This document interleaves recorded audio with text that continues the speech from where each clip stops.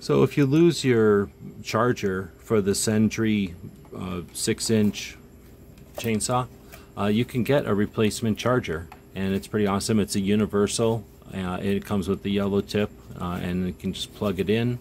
Uh, plugs in just like the original. Uh, the only difference is, you know, you buy it separately.